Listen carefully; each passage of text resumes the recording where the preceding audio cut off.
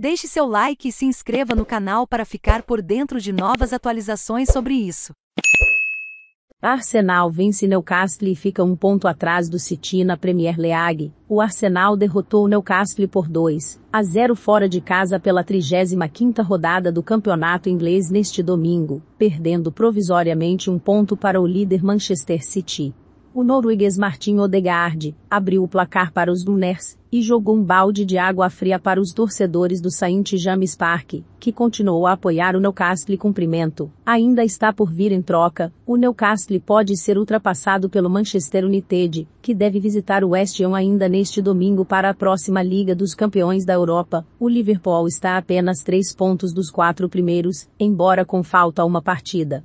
A rodada termina na segunda-feira com três jogos envolvendo times da parte de baixo da tabela, com destaque para o confronto entre Nottingham Forest e Southampton, ambos na zona de rebaixamento, e precisam vencer para manter a esperança de permanecer na elite.